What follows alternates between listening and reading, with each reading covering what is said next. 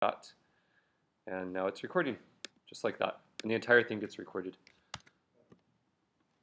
very easily. Yeah. So you might want to do that someday. So the talk breaks up into three parts. Uh, first, I'm going to show you some tables that appear in a paper that uh, we've uh, submitted and has been accepted for ANTS in San Diego this July. Uh, then I'll talk about very briefly about how to find all elliptic curves attached to a new form G. So John Bober, who is giving the next talk after me and is not here because he's either trying to get some more sleep or preparing his talk. Um, so I know it wasn't written yesterday. Uh, we'll talk in a lot more detail about two, assuming he shows up, and um, he wakes up. And then three, I'll talk about finding new forms. So that's Hilbert modular forms. So first, some tables. Um, and to emphasize, the source of these tables were a bunch of calculations that were made as part of an REU at University of Washington last summer, and some of the REU students are here right now.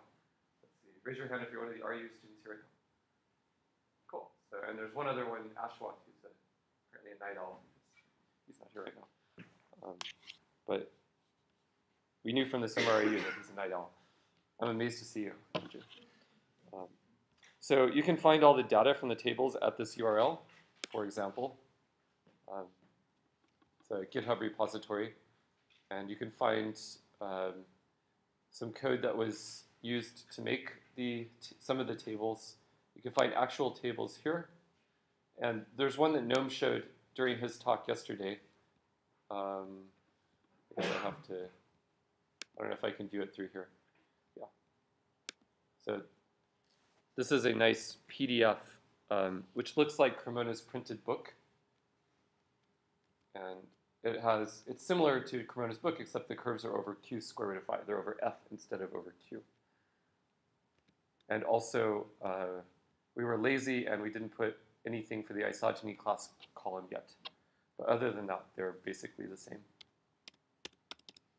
And they even replicate some silliness like giving the order of the torsion subgroup rather than the structure, which is stupid. really, we should give the structure. No offense to you. I mean, you had printed page constraints. So. There you are. So, so we, we replicated your every mistake. yeah.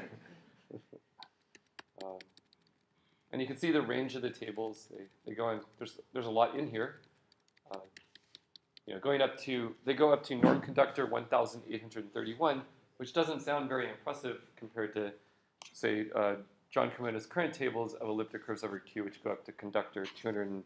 36,000 now, and thereabouts. So nonetheless, just to emphasize, there are a lot of curves here. Look, at, there's quite a lot of uh, that level. Um, so there's quite a bit to do here. And it just keeps going on. This will go all the way up to 1831. And the thing that distinguishes 1831 is it's the first time that you see a 2 in the rank column. All other entries in the rank columns for all the curves of smaller conductor have rank 1 or 0. So that's the reason that we stopped there.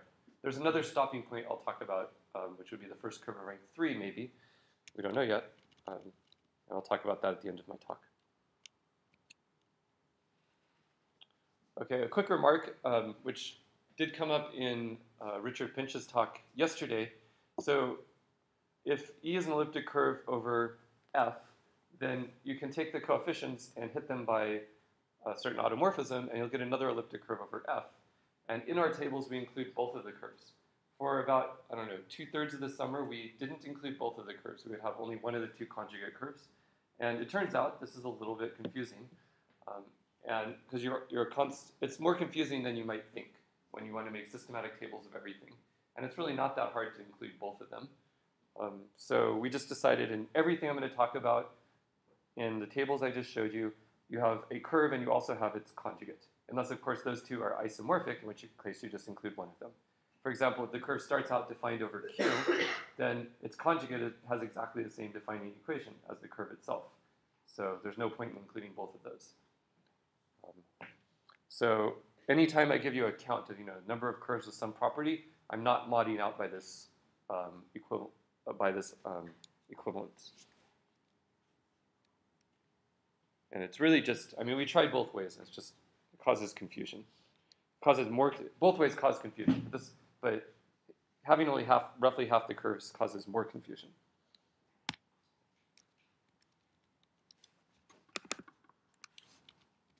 Okay, so here are some tables. Um, first, this is a count of the curves that we found, or, and it should be all of the curves, of norm conductor 18, up to 1831. Um, I'll say a little bit more about whether or not we have all the curves in a moment.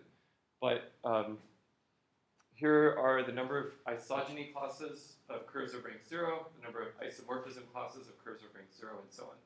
So um, there are roughly equal number of isogeny classes of ranks 0 and 1, but far more isomorphism classes, as you can see.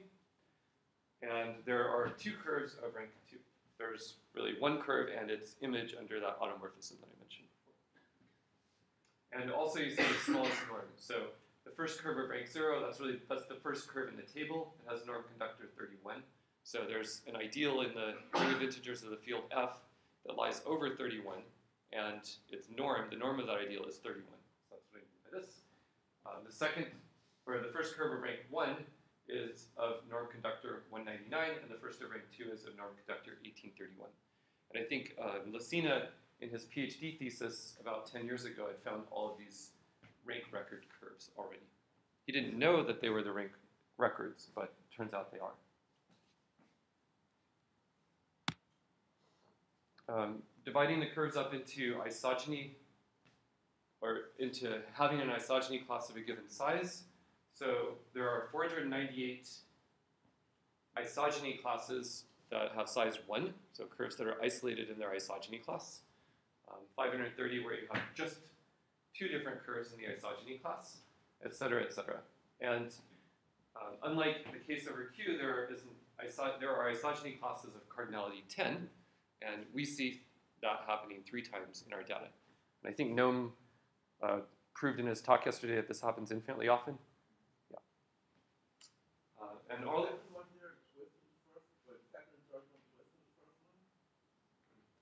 uh, the three, maybe I don't know. Um, that's possible given the range. I didn't ask that question and answer it to myself. Probably. Um, and notice that everything happens already up to 199, and you don't see any new sizes up to 1831. And as I mentioned in my talk on Friday, for all we know, these are exactly the sizes that occur. There might not be any other cardinality sizes. Um, and I don't think Noam suggested otherwise in his talk. Though he certainly made it so that you should wonder um, by emphasizing that you can have surprising stuff that you don't notice early numerically. Okay, rank data. So this is just a more refined um, table, similar to the one I showed you a moment ago, which uh, I think mainly Andrew Ohana made, which gives the number of curves of each rank up to various bounds. It's, you know, still a very, very small amount of data, but you can see that in this table, uh, there's you know, roughly an equal number of isogeny classes for each rank, except at the beginning there's a bias towards rank zero. But that's already sort of mellowing out. Um, probably if we made this table a lot bigger, as is the case over Q, there would suddenly start being a bias towards rank 2, which would seem weird and then that would eventually go down. And a similar table for isomorphism classes. Okay, here's um, degrees of isogenies. So how many curves have no isogenies at all of prime degree? Um, none. So there are 498 isogeny classes of such curves, and there are also 498 isomorphism classes of such curves, because those curves have um, one curve in each isomorphism class or isogeny class, sorry. Um, there are more isogeny classes with the two isogeny, and of course, the number of isomorphism classes is even bigger because each of those curves that emits a two isogeny um, is isogenous to some other curves. So that's the biggest here. And then you have 3, 5, and 7. And in the range of our tables, we don't see any 11 isogenies or 13 isogenies, or most interestingly, we don't see any 17 isogenies. Um, even though, as Noam explained in detail yesterday, there are 17. There are infinitely many different um, curves over F with, a, with a 17 isogeny. So they happen, they just have larger conductor. Um, remember the number 498 when I show you the next slide? Uh, which I just noticed this when I was looking at the talk this morning. there are 498 curves with no isogenies. And strangely, um, I copied this table out of our paper. We claim that there's only 296 isomorphism classes of curves with no torsion. So that seems to be a contradiction because um, if you don't have any torsion, I'm sorry, if you don't have any isogenies, then you definitely don't have any torsion because you can take a torsion point and mod out by it. So I think there may be a, a mistake here. I think it's more like 700 and something. I did a, a quick calculation with our actual tables. So this table's wrong. Anybody notice that? I just noticed that like a few minutes ago. Um, I was suspicious because 296 seems kind of small, but um, definitely inconsistent with the previous table. So we're going to meet at lunch and sort out the referee report on our paper. I really hope the referee noticed this, but we'll see. Um, otherwise, we'll need to figure out, we'll have to fix this. So there's something wrong with the torsion table. Um, aside from that, though, there are these nice examples of various torsion groups appearing, and um, as I mentioned, Friday, the one, and as Noam mentioned, the, the one new one that appears is Z mod 15Z. So that one does not appear over the rational numbers. And you'll see that it appears exactly once in the range of our tables. Moreover, it appears exactly once. This is the, the curve right there. It doesn't appear any more. And um, comparing with, so this comparison is suspicious given that I know that the first entry is wrong. Um, but at least I can show you the number of isomorphism classes with various torsion structures over Q up to 1831, so for the same range. So um, Z mod 2Z occurs quite a lot, as it does over F, and trivial group also occurs a lot. And then you have others that occur less, and as a quick consistency check, notice that Z mod 15 doesn't occur at all, and that never will. Right, so those are the tables over Q and F at the same time. And then finally, the last table I'll show you. So um, each of these tables are the sort of thing that somebody could independently reproduce if they were to do a similar calculation, and then they would get numbers. And I would be very happy if they get exactly the same numbers. Because you know, when you when you compute a big data set using a lot of different techniques and people, um, and then get one little number at the end, which is you know the number of things of some property, it's you know it's a pretty it's like a I don't know it's it's like computing a hash of a file. If anything goes wrong, you're gonna get the wrong answer probably. Um, but one thing with the number of curves up to given bounds and so on, the total number of curves we found, um, Jon Voight and uh, uh, Stephen Donnelly had computed the number of iso isogeny classes of curves at least up to the same bound and got exactly the same number. So there's some good consistency with the work that they have. Um, much of which predates what we did. So here's a final table. This was an enormous amount of work to make, and um, one of the points of this table is it illustrates that not only did we compute the curves, but we computed all of the invariants except the order of Sha appearing in the Birch-Swinnerton to Dyer conjecture, and then solve for the order of Sha. And here's the table that one gets at the end. Um, your confidence can be increased by noting that the, this table doesn't contain any numbers that aren't squares of positive integers. Um, but I don't know. I don't know. I think so, but I don't know, actually. And so Ashwath made this table, and Ashwath is not here at the moment, so he might know. I don't know. But um, his description of how he made the table doesn't inspire extreme confidence that it's perfectly correct in me. But um, usually, I don't know, if I made the table, I would also have lower confidence. But nonetheless, there's something you can verify. You know, if you're very interested in finding a curve over this field with Shafarevich Tate group of order 9, then you can definitely take this curve and look. And so we have tables that illustrate various Shafarevich Tate groups. Um, this is the first, the smallest norm conductor where one of these occurs. Uh, many of these are not, are somehow accounted for by isogenies, in that there is an isogeny of the same degree, or of degree dividing the order of Sha. Um, I didn't check to see whether that was the case for all of them, but quite a lot. You can see something about the distribution. Um, so, oh yeah, yeah. Except for in one case. So the, for the very first curve of norm conductor 31, the First one in the table, that's actually the order of Sha. It really does have Sha of order 1. And this is a, a very non-trivial thing that um, Ashwath and I spent a couple weeks on. But you can apply, so the, in this case, the conductor is square free. And you can apply, um, in fact, it's a prime, the, one of the primes lying over 31. So you can apply results of Zhang, which give you um, the fact that SHA is finite for this particular curve. Uh, for this curve, the rank is zero, the analytic rank is zero, SHA is finite, and you can explicitly compute the height of a Heegner point after making a trace of quadratic imaginary extension of f on this curve. It's hard to compute the Heegner point itself because um, unlike the situation over Q, you don't have this nice situation with modular symbols and cusps and so on, and really, a really easy uniformization. So it's kind of hard to just directly numerically compute the Heegner point. Nonetheless, Matt Greenberg in a paper, I think, did compute one of these Heegner points, although I think it was wrong. Yeah, he did compute one in, um, in some paper, and he has an elaborate and powerful algorithm to do this sort of thing. But a different approach is that you can simply compute the height of the Heegner point using Zhang's formula. Who needs the actual Heegner point? You just need its height. Um, so for, for those purposes, you, we computed, I guess, the height of the point, and then via some other method, you do a search and find points on the curve. I mean, you're really just trying to verify something about BSD rather than trying to find a Mordell-Weil group, which is the usual or classical application of Heegner points.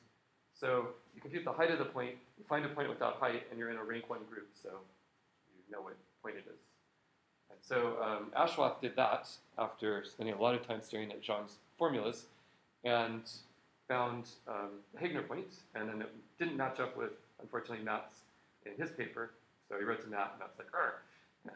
And, uh, not sure what exactly happened, but um, but that's typical. I mean, this stuff is so hard to get right computationally. Theoretical stuff's easier. There's many consistency checks sometimes.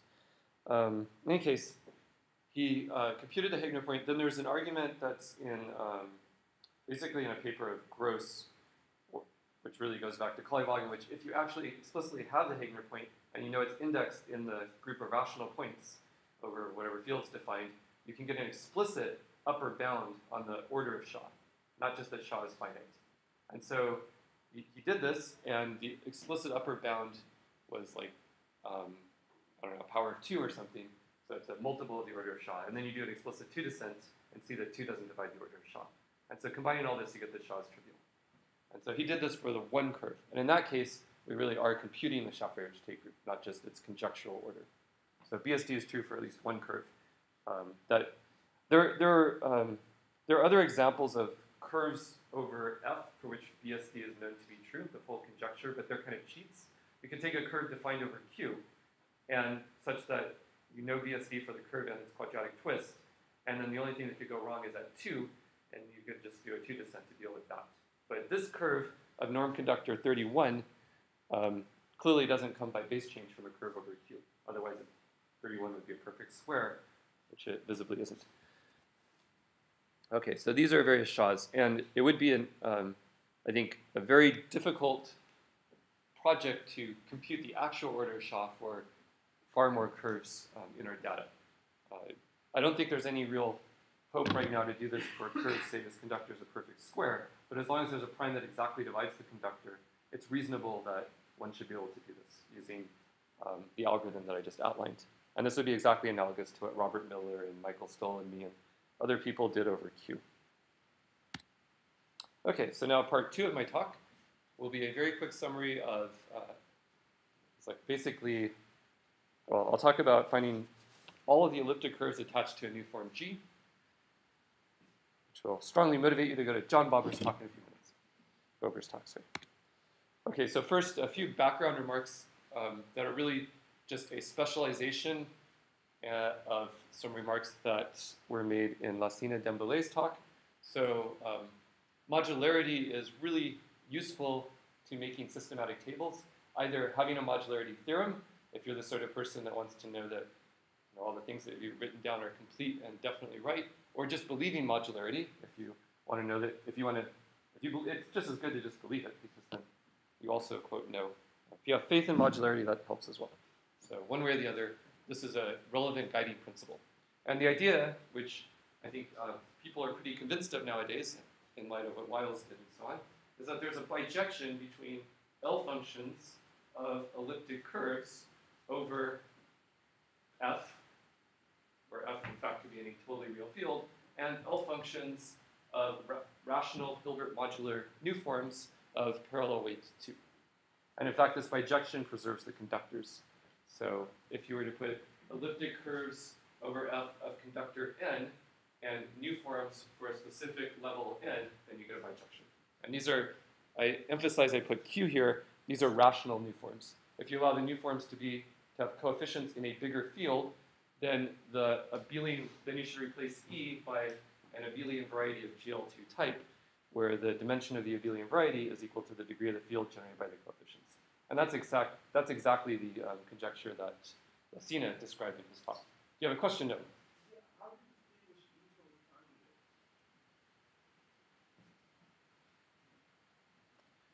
It'll have a different L function. The point counts are different. The um, yeah, it's just a completely different L function. Yeah. Nope. Nope, it's different. So what happens is the L function you get by um, the L function is different. I, I claim. What? It's not different. Yeah, but it's, but it's not. This is not over Q.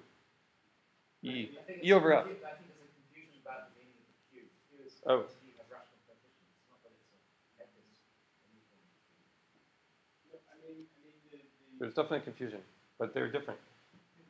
Um, No. the AP are diff- it's different. but, the, norm of,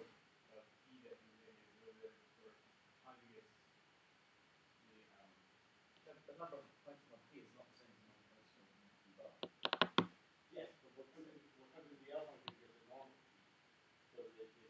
you get the same, if you, if you just use, when I say, when I So look as a over function. Q, right, so as a function, as an analytic function, you get the same function.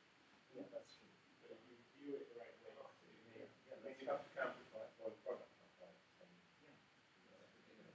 Okay. Yeah, the Euler product is different. Okay, so you have to do that conjecture.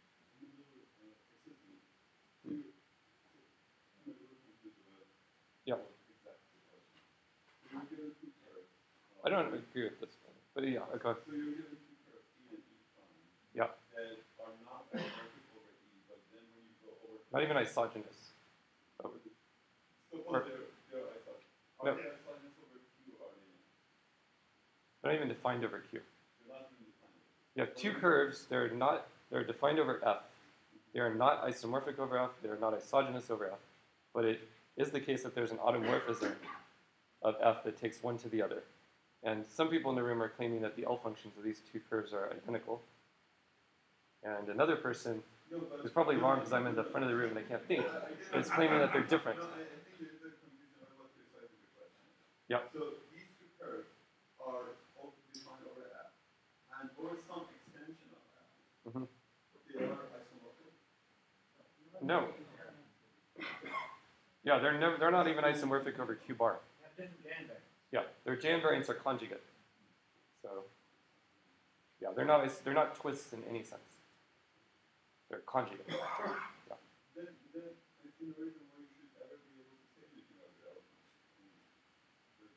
say anything about their functions.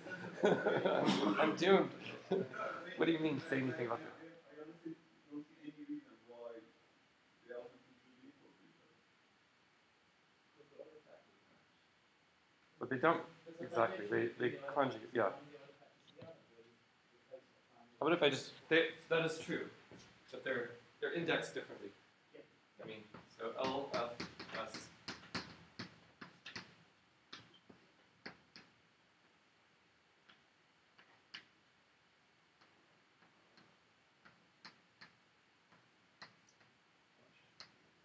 What do I do? Yeah, one of these are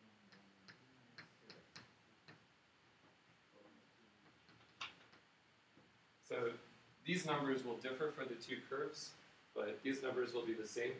So for one of the primes, so if you have you know two split primes, sorry, if you have two primes that are above a single prime at the bottom, you have two different Euler factors for different primes, but the norms are the same. So you're right, when you multiply the two Euler products together, you'll end up getting the same thing.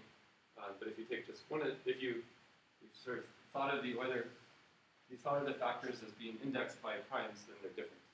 So, When you, when you put in the You're right. factors of infinity in the power of conduction, aha! That's a good point. John claims that the completed L function is different. I don't know if that's true though.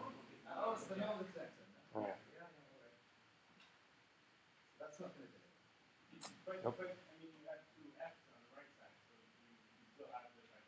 trajectory. That was a good point. Aha! uh, but you're right. But the key thing is I have to restrict. I didn't make it clear. So I had an n on the right hand side and on the left hand side. If I put an n on the left hand side, everybody would be happy. But if I do not put an n on the right, right left hand side, I'm going to piss off a lot of people. So, okay, sure. All over. I'm gonna put it in. I want to. It's driving me crazy. Plus, my talk's kind of short, so I'm trying to find a way to make it longer.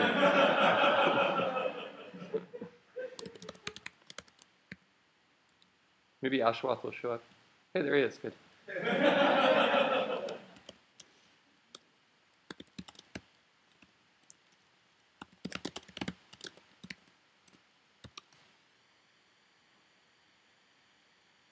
I really hope I didn't break the tech. There you are. I don't know if anybody's pissed off, but everybody should be happy.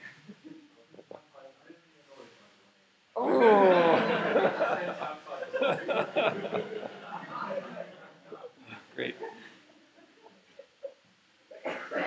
Okay, one, one uh, final remark. So, Richard Taylor visited UW to give some talks, and I asked him about the extent to which this is proved. And he pointed out that Mark Kisin and Toby Gee have done a lot, or G, whatever, I've done a, which is it, G or g. Toby Gee have done a lot of work on uh, modularity over 12 of the real fields, and you can kind of read off pretty easily from what they've done that if you put in a hypothesis on the mod 3 Galois representation, namely that if you restrict it to f adjoint zeta 3, then if that's absolutely irreducible, then you get modularity automatically. And then there were various, um, you know, theses of students and so on that might be able to extend this to more general situations. Um, but this was kind of the you know, concrete result that you have.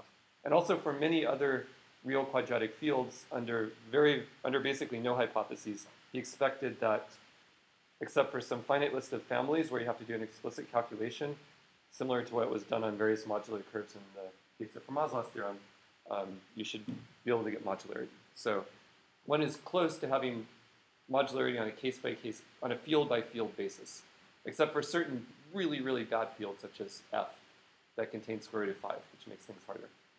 Nonetheless, um, I think it would be really nice if, and I mean, if, if this were a workshop, I would suggest it would be really nice if somebody could just give a nice simple algorithm to check this condition and then check it for the range of our tables.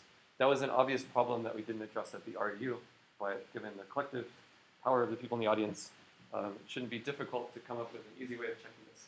How do you check if uh, the mod 3 representation of a curve over f restricted to that group is absolutely irreducible? So if you're bored, okay, there you are. So I suggest that as a problem for today. Okay, um, I'm going to uh, prove a disrespectful theorem, or a theorem that gets no respect. Namely, um, I don't know, this came up in Lassina's talk, and I felt like maybe my heckling wasn't clear enough. So, um, so here's a theorem I claim. If you assume the modularity conjecture, then there is an algorithm that takes as input a Hilbert modular new form, and I emphasize that as rational Fourier coefficients, and outputs one of the many elliptic curves in the um, that has the same L function. Okay? And here's the algorithm. Uh, first, you compute all of the rational new forms in this space.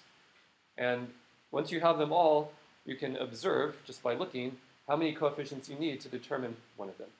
So this is an important step, but as you'll see. So you compute all of the new forms in the space, and you'll find that, oh, if you just take the first five a sub p, then that determines one of the new forms. Now, simply enumerate elliptic curves over f. There are countably many, so just choose some way of enumerating them. Um, any way you like, as long as it is an enumeration. So you'll hit every curve eventually, or any given curve will eventually get hit. In particular, the curve that we know exists by our assumption, E, or the a, curve which has this property, namely that LES equals LGS, such a curve exists by our hypothesis. So you'll eventually hit it, and when you hit it, you'll observe that its conductor, and we can compute the conductor using Tate's algorithm, is n. And moreover, the AP for P for the first five A sub P um, agree with the A sub P of G, and therefore you have to have this equality.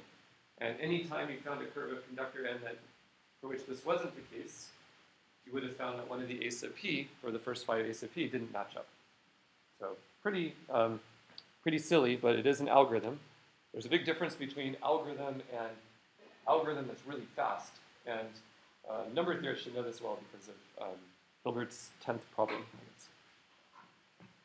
So um, if you want to challenge, I think that a similar argument works for abelian varieties of GL2 type, but you kind of do some tricky, funny things in there to, actually make it work because it's pretty straightforward to enumerate elliptic curves, but when you consider abelian varieties of GL2 type, it's a little harder because um, you have to somehow uh, characterize them as being of GL2 type when you enumerate. Uh, it seems like a very Lenstra style problem. How do you, you know, enumerate all abelian varieties of GL2 type in some way? What? There's a similar conjecture, probably similar results. Um, and as Lassina pointed out yesterday, there is, um, over the rational numbers, you know that all abelian varieties of GL2 type, GL2 type means, uh, for simple abelian varieties, means that the endomorphism ring tensored with Q is, e is a number field of um, of degree equal to the dimension of the abelian variety. Um, you know that they're all modular. And um, over other fields, you have a similar conjecture. And this fact that they're all modular, there's a beautiful paper of Ken Ribet which proves that if Serre's conjecture is true, then you get modularity of all abelian varieties of GL2 type. So he reduces it to Serre's conjecture. And it's um, roughly an elaboration of an argument of Serre. I highly recommend you read that paper if you haven't already. So, um, but as Cremona remarked yesterday, this algorithm is not respectable. Um, it's not the worst possible thing to try doing, especially if you first do a big enumeration and then just look and see what you get.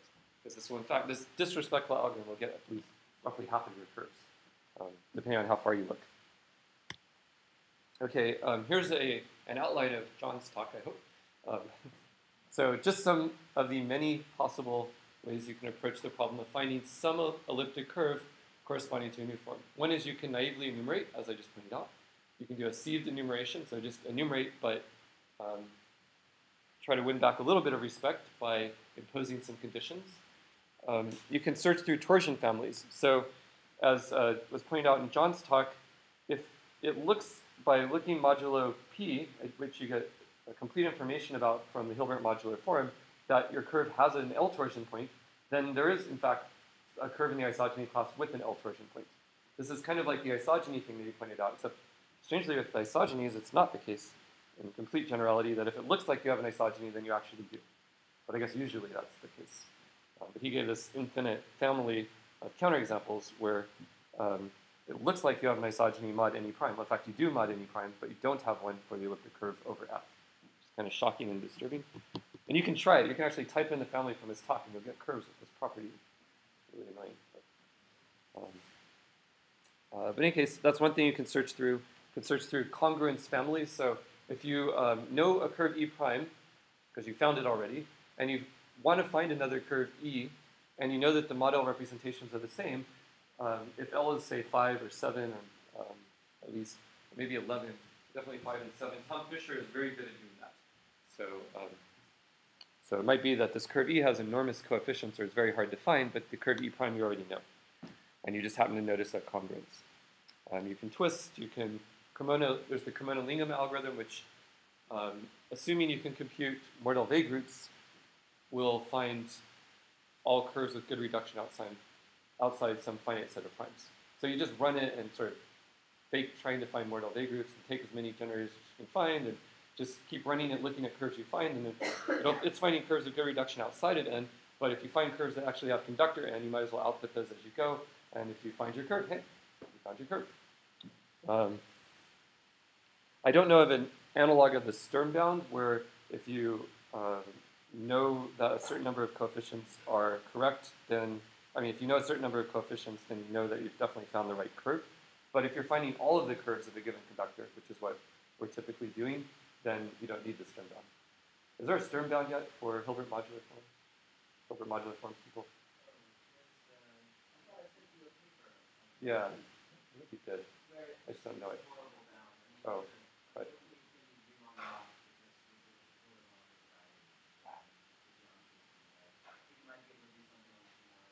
Right.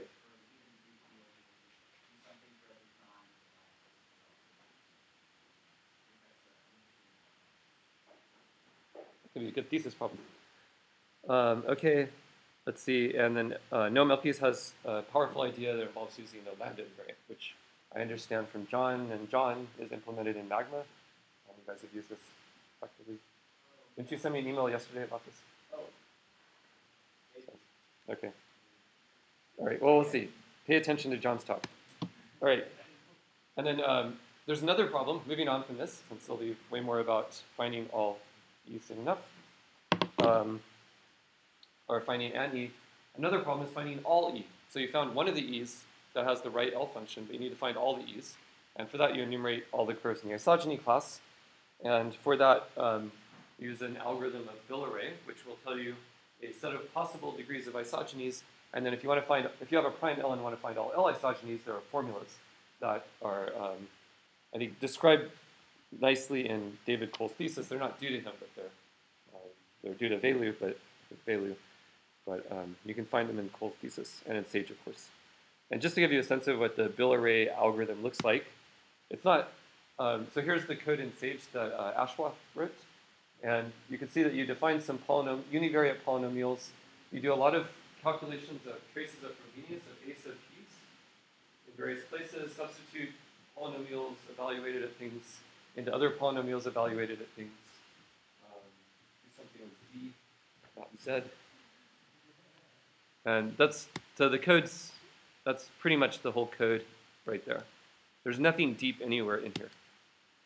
And then at the end, you do something with um, putting together various sets. So basically, he produces various sets in a fairly elementary manner, such that if you take the, the union of all these sets, then they give you all possible isogeny degrees. Right? Intersection. Okay, it's even better. Intersection sets. Great. Yes. Nope. How? Really? Huh. But you can tell that it's not. You can tell it's not reviewed because uh, there's no doctests. By the way, if you did want to do it now, um, just to illustrate, in GitHub you can click on a file and then just start editing it. So you're saying that it should be bill array with a. Where is it? Yeah. Oh. crap. All right, never mind. I don't want to do that. But there's a way to just click on it and start editing it. And you have to click edit at the top. Okay, now finally, um, I'll talk for the last few minutes about how to find all the new forms um, of a given level, which I haven't talked about at all in any of my talks. And really, I'm just going to summarize in one slide the um, algorithm that Lassina Dembélé gave in his PhD thesis um, a decade ago and described in a paper from 2005. And um, it's really a combination of two ideas. One is that you can use the Jacquet-Langlands correspondence to reduce the problem of computing all the Hilbert modular new forms, or really Hilbert modular forms, let's say a, a modular of the Hecke algebra, to the problem of computing with right ideal classes in an order of level n in a certain quaternion algebra. So it's a sort of approach that um, Brandt and Heiser and, and, many, many other people have exploited to great effect, David Kohel, um, over the years. And you combine that with, um, has, has a clever observation that uh, in this particular case at least, the right ideal classes are in bijection with elements of but P1 of R mod n modulo a certain relationship. So computing the right ideal classes just amounts to computing this P1, and then you mod out by some uh, easy to mod out by relation. So now let me explain the algorithm in one single slide. So first, um, be aware of the Hamilton quaternions. I mean, really, this is the quaternions from Hamilton. Uh, the only difference is that the base field is q is f now, instead of q or r or whatever it was for Hamilton, probably r for Hamilton. So consider the Hamilton quaternion algebra. Inside of there, there's a maximal order. There it is. I'll call it S. I'm calling R the ring of integers of F. And S is this maximal order in the Hamilton quaternions. Now, um, P1 of R mod n is simply the equivalence classes of pairs of coprime numbers A comma B in R mod n, modulo the action of R mod n star. So, pretty straightforward. Um, some finite set, you can easily enumerate its elements, etc., and work with it. And uh, I mean, for example, when n is a is a prime that's split, R mod n is just a is fp, so it's just p1 of fp. Then for each prime that divides n, see the this quaternion algebra fijk. One very nice thing about it is that so it has to be ramified at two places, right? And there are two places where it's definitely ramified, which is the infinite places, because R adjoint ijk, the traditional Hamilton quaternion algebra, is not split. It's uh, actually a quaternion algebra. It's uh, not a matrix algebra. So at the two infinite places, Fijk is ramified, and it's not ramified any of the finite places. So over Q, it was ramified at 2, but that ramification at 2 disappears when you go up to Q root 5, when you go up to F.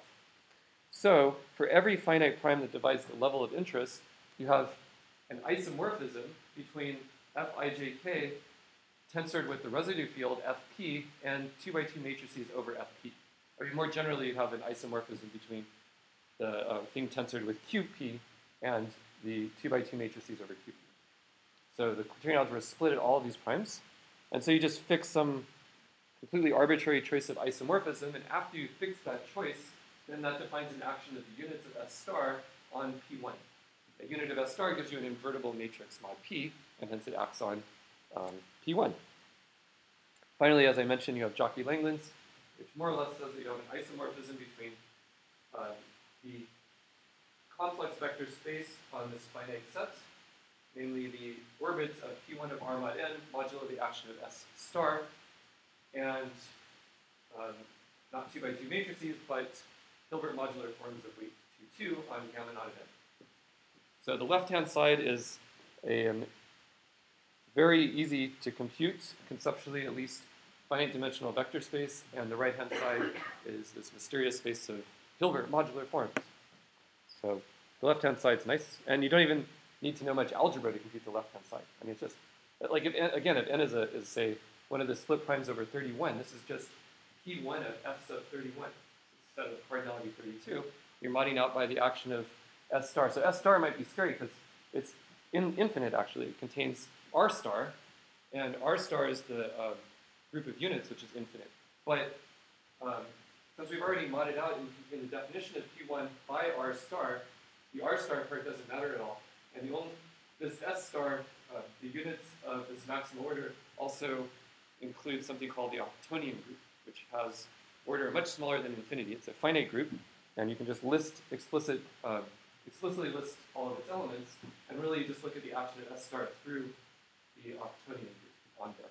And so you just have this little group that's acting on this finite set.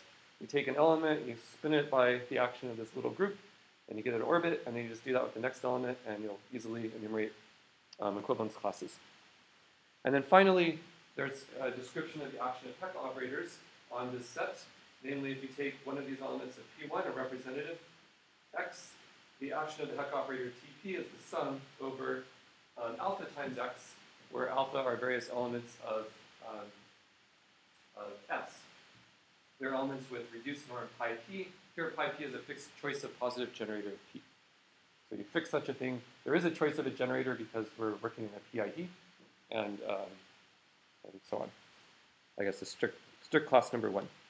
So, um, so there you are. So you get an action of operators. It actually is somewhat subtle to find all of these alphas, but um, in theory you could just do some stupid search until you find enough of them. But in practice, you want to do something involving LLL or, uh, or fast. You want to do some sort of fast enumeration, finding short vectors, and so on. Um, so there's some subtlety in doing this efficiently. But the really funny thing is that once you do this, once you compute the alphas with norm pi p, you just save those once and for all, and you can use them for computing with any level. They don't, they're, they have nothing to do with the level thing. And you don't have to do any extra algebra for each level. Like you don't have to figure out what a new maximal order is or anything for the level. Notice the only way in which the level plays a role is in P1 here, in P1 of Armada. Plays a role nowhere else in anything we do, which is uh, one- one thing that got Lassina very excited. And now some remarks.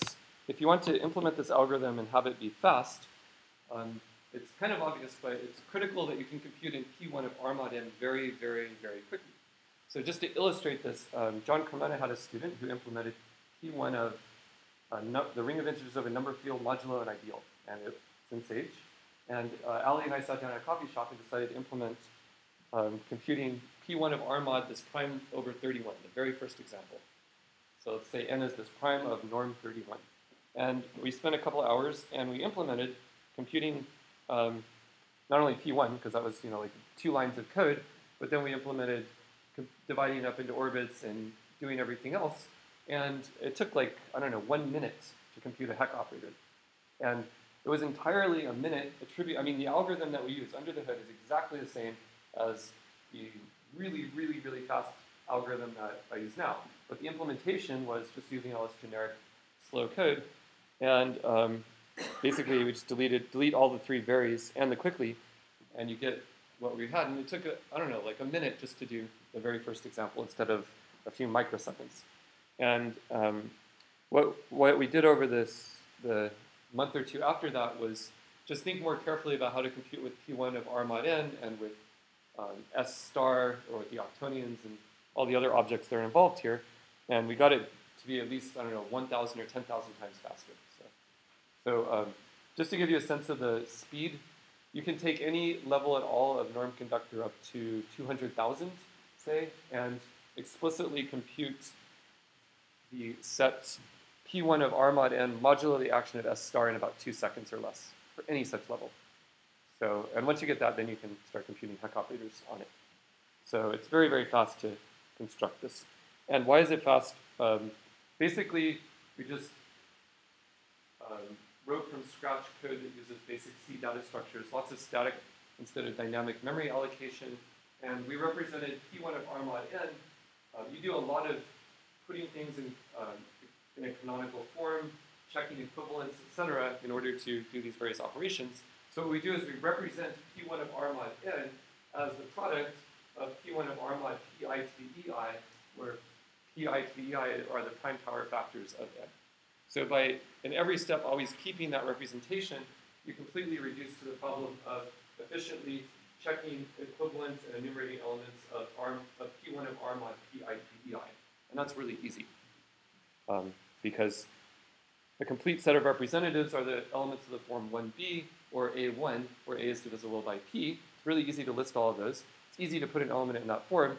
And if your underlying representation of elements is via this isomorphism here, um, when you have an element, you just component-wise can put each of its components separately in that form. So you can easily reduce to canonical form, enumerate, whatever. So it's super, super fast for everything. Um, sort of painful to implement. It's not in Sage yet, but it, we're working on it in this trac ticket right here. Okay, so now um, what's next?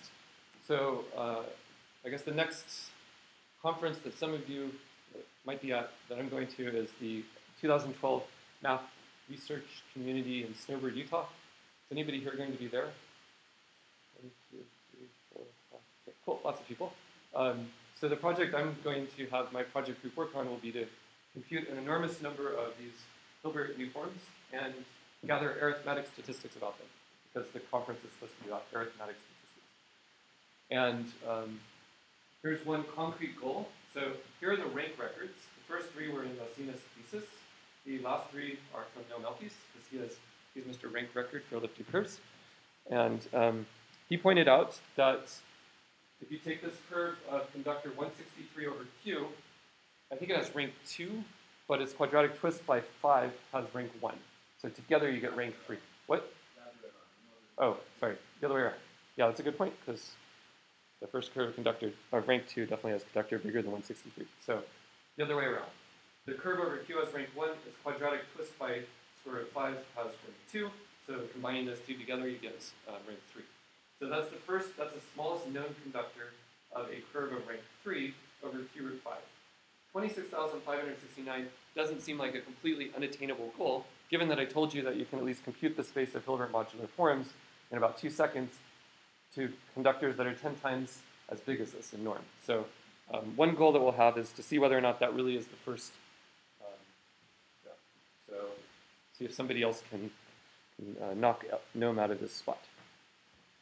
Sorry. Um, then the next one might be this. It's a little bit suspicious given that this one isn't prime. Um, so we'll see whether the first of norm conductor, or the first curve of rank 3 has prime conductor or not, or curves over F. Okay, and then, uh, so that's one concrete problem. And now, finally, I will end with an epilogue or a prologue, which, um, here's an email I sent to John Voight a little over a year ago, um, which I said, I'm planning to try to say something about these sorts of things, mainly that I'm ignorant in each case, um, but I'm curious what thoughts you might have. So John in the back sort of launched me in useful directions regarding computing things over Q root 5. And this kind of enumerates um, a big list of ideas for things one can do where you decide to replace Q by F and then start computing with elliptic curves. So I'll just kind of very quickly go down this list and say something about what has or has not happened. So a Stein-Watkins style search, so as I mentioned in my colloquium, you can make an enormous table of curves. Um, let's see, so Joanna Gaski and Ali Dinosaur started in this direction, worked out a lot of background details to figure out how to efficiently sieve, but no, as far as I know, no real code to efficiently do this has been implemented and or been run. So there aren't any actual resulting tables, but they have good estimates for how to do it and how much they should be able to do, right? So um, this this is halfway halfway thought about. Um, Elkies' approach, I'm not even sure what I meant by that. Um, I think it's the lambda invariance thing. So it's been worked out by some people. Um, I won't go through everything. So fast computation of AP. Uh, so if you have an elliptic curve over Q, the best way to compute the A sub P is not to use Curie, not to use Magma, it's to use a program by Drew Sutherland called smalljac. That has the fastest implementation of computing A sub P, all the A sub P up to some bound. Um, it's not the best program if you want to compute a single AP for P that's enormous, then Curie is probably one of the best for that. But for a whole bunch of A sub P, this code is extremely good. Unfortunately, it's only over Q, or in fact, that was the case until I started complaining to him a lot in the summer, and he rewrote his program so that it works over for hyperelliptic curves of, I guess, genus less than or equal to 3 over number fields. So I don't know what the release status of that is, but definitely his written code, um, there's at least a beta release so you can compute A sub p, lots and lots of them very efficiently for hyperelliptic curves over number fields. Um, congruence number. So um, you can define analogs of the modular degree and the congruence modulus and so on in the context of Hilbert modular forms. Um, Ali's been looking at this uh, some and working on coming up with an algorithm to compute these things in practice, especially the modular degree, kind of following um, uh, Shuzo Takahashi's thesis. Uh, enumeration of the isogeny class, I was really scared of this and worried that it would be incredibly hard to do in general because you'd have to generalize Mazur or something. But fortunately, Billerey, uh, John Cremona pointed out Billerey's paper, and that just completely deals with the problem in particular cases. Although um, there are you know, ways to, there are lots and lots of, at least it deals with it in the sense that it's possible. But to make it really efficient, there are lots of additional improvements that can be made. I think you have a PhD thesis student who's maybe working on this, was working on this, finished working on this. Kept telling me about such a student. Okay. Okay. Um, computing the root number. Uh, I don't know. You can use Dokchitser's program and try both root numbers and see which one works. And that does actually work pretty well. Computing the torsion subgroup, no problem. Uh, computing Tamagawa numbers, Tate's algorithm. Computing all integral points. Uh, I guess Rado and somebody else ported some Magma program, Sage, and then some other people did it at the Women in Sage Days conference, and it works, but it's kind of slow because it's right. A lot easier to make code like this fast if you make it wrong, as we've discovered repeatedly. Um, putting Kodaira symbols, Tate's algorithm, zeros, Dokchitser, and Rubinstein's programs do in fact both work over uh, any field, as we found. Um, it's really, really useful to test the functional equation for whatever L function you're looking at, because then you can, even if you don't know exactly what's going on, you can try a few possibilities and figure out what the right one is. Um, a notion of canonical minimal Weierstrass equation. So I haven't said anything about that at all, but um, for elliptic curves over Q, there are, if somebody says the minimal Weierstrass equation, they're confusing you or they're lying because there isn't a the minimal Weierstrass equation. But if you restrict the, if you um, restrict a1, a2, and a3, the first three of the uh, a invariants of the curve, appropriately, so um, to be really small in an appropriate sense, then there is a unique minimal Weierstrass equation. This isn't true over all number fields. Um, there is something that is similar that is true over um, certain number fields. And Andrew Ohana, who's in the sweater right there with the hoodie, um, has thought a lot about this and come up with um, various good notions of a canonical minimal Weierstrass equation under certain hypotheses on the number field. And um, we can ask him about that. So a lot of thought actually has gone into this. So for example, when I was showing you those tables, those PDFs of elliptic, you have a comment, Richard? Oh, when I was showing you those tables of elliptic curves, um, the Weierstrass equations were in a canonical form.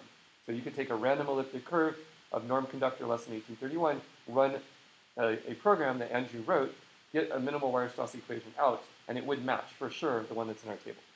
Okay, so that's nice that you have kind of a canonical form that you can put things in. But you only have that once you decide on how you're going to do this. It all basically amounts to dealing with um, powers of the unit and the discriminant. And figuring out what the residue classes should be and so on. I don't know, do you want to say anything? There's not really time. You've written it down. Um, what else to say? Drawing pictures, I don't know what. Um, computing the regulator and the height pairing. So there's code in Sage, I think uh, various people wrote that computes the height. There's some weird precision issues with it, and that you have to kind of bump the precision up from the default to get the right answer to more than like one or two digits in some funny cases. So if you use Sage, watch out. Magma seems to uh, just get the precision right from the start. Um, so that needs to be fixed, in fact. Computing Heegner points, we did compute one. So uh, norm conductor 31. Uh, did you do any more than that one or just that one? Yeah. Okay. Um, computing the cardinality of Sha, same thing. This has been done once. Um, images of Galois representations, kind of related to that. I mean, Noam's talk is about that in a sense, um, though Nathan's on Friday. Um, and one thing that I haven't said anything really about, but uh, it would be nice to extend as much as possible of what I just talked about to modular doing arrays attached to Hilbert modular forms. So enumerating them, computing things about them, and so on. Okay, so that ends my talk.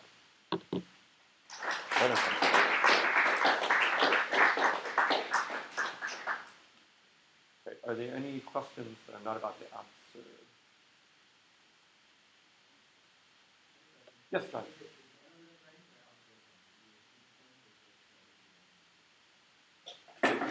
Where, which it are you talking about? Um, both, I think. Both. So um, they're all ranked. So for all of them, we did a two descent using Simon's two descent program. Using Simon's two descent program. Um, and for all of them, we computed the L function. So at a bare minimum, definitely we have the analytic ranks tabulated. Um, and there's no issue except for the one of rank 2 about whether it's correct, about whether the analytic rank is correct. The one of rank 2, to verify that the analytic rank is correct, I think technically we would have to compute the Heegner point, which we didn't do. Um, or at least get some bound on a denominator coming from Heegner points, which we didn't do. Um, so I think that in all cases we computed the rank both ways. So I don't think we found any counterexamples to beat us. Uh, okay. Yes, no.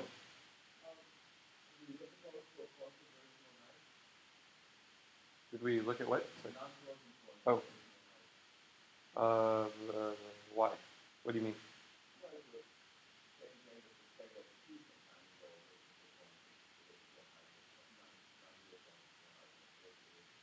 Oh, yeah, I, I know what you mean. Yeah, of course. Uh, so yeah, yeah, for every, so Noam is alluding to a subtle question, which is if you consider all elliptic curves over Q and all points on them, then they have a there's a set of heights of those points. Some of them are zero, some of them are not zero. What's the smallest height of the smallest point on any curve over Q? You can ask a similar question over F, or any field F. We did not even, I don't think, I don't remember looking at that question at all. But, um, so, no. But that would be a really good thing to look at, because then we could have the rec, we could have the record. Um, and you could compare it to whatever the record is over Q. Okay, uh, next question. Yes, John. Um, I'm wondering how, what's the, the label that we should use to, uh, electrical motor? Oh my God. I'm a little worried that the way you enumerate, you label the ideals, you put an A after it, and then in the algebra class, also you put an A, and then it's the, the reason you do that is supposed to be something like thirty-one dash one and thirty-one dot one, so just the ideal. Then you would say something like thirty-one dot one, thirty-one, and Uh-huh. very much like. Um, I came to the conclusion in the Bristol workshop that I've personally given up on labels. So, no, I'm, I think that I personally have, but there are, I, I think I'm the only person that's given up on labels. So you can find many um, people who have, like, Andrew's thought pretty hard about different labeling schemes and um, has some, I think, good opinions about how things should be done. Um, from now on, whenever I make databases, I'm just going to give raw data that defines the thing I need. And when I refer to them in papers, I'm now just, I'll use whatever label I want in the paper, and I'll have a table which gives the actual Weierstrass equations at the end. So, Very, very sensitive. because I'm, I mean, labels just make, make it busy. and make the Yeah. labels simple. You will, you will regret it for the rest of your life. Yeah. Really, really will. yeah. So there's, there's some truth to that.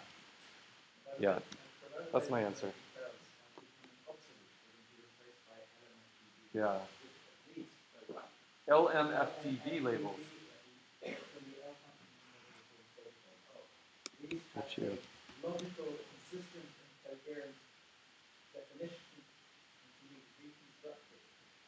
I'm not supposed to show this to anyone. Well, thank you for that. I think I will read.